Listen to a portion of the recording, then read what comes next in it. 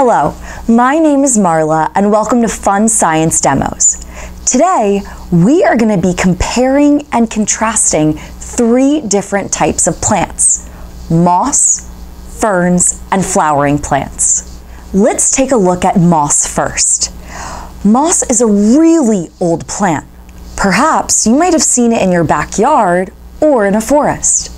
Moss is a really small plant and always grows very close to the ground. Moss never grows larger than what you see right here. Like I said before, moss usually grows around trees, but sometimes when trees fall, moss can actually grow right here on the bark. We've zoomed in just so you can take a closer look. Moss doesn't have true roots, stems, or even leaves. Now, these might look like little leaves right here, but true leaves have tubes that carry water through them, and moss doesn't really have that. Moss reproduce using these really tiny structures called spores. They do not make seeds in the same way that a lot of other plants do. There are over 12,000 different types of moss that are alive on our earth today. Now, we know that mosses have been on the earth for a very long time. We actually have fossils of moss that date back to over 450 million years ago. Let's take a look at some of those fossils.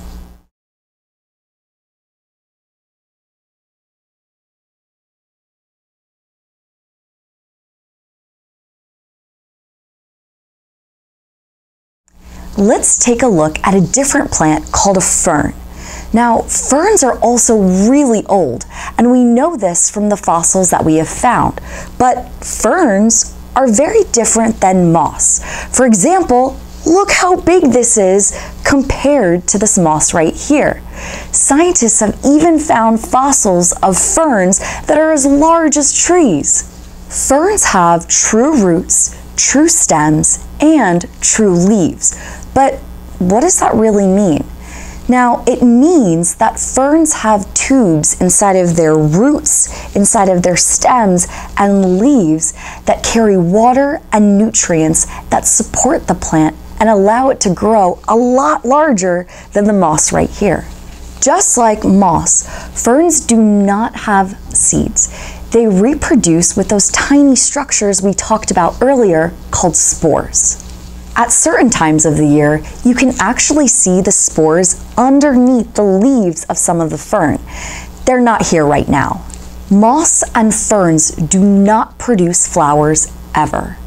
There are over 11,000 types of ferns that are on our planet today. The oldest fossils of ferns that have been found are over 360 million years old. Let's take a look at some of the fossils paleontologists have found.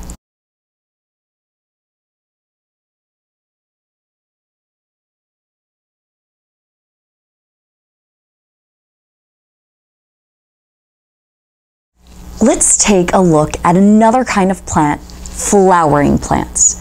Now, flowering plants are millions of years old, but they're not as old as our ferns and moss, and they're a lot more complicated. At some point in their life cycle, all flowering plants have flowers, like you can see right here. These flowers are really important and they help the plant reproduce. Flowering plants have true roots true stems and true leaves, just like the fern plant we talked about. But flowering plants make seeds. Seeds help the plant reproduce, unlike the fern and moss. Seeds are made in or nearby the flower. People who study living things, including these plants right here, are called biologists. Now, biologists say that flowering plants have been really successful on our planet. But what do biologists mean when they say successful?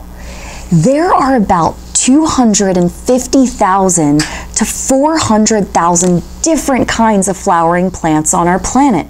How cool is that? There are many types of plants that have flowers besides the ones that we see here. Shrubs, trees, and grasses all have flowers. We said earlier that flowering plants are a little bit more complicated than the mosses and ferns. Besides them being able to make their own seeds, these plants actually have both male and female parts on the same flower.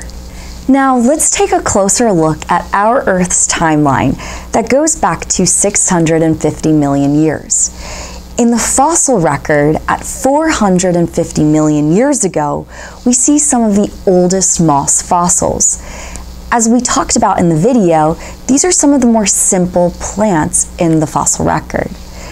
At 360 million years ago, we start to see some of the oldest fern fossils, starting to get a little bit more complex compared to the moss.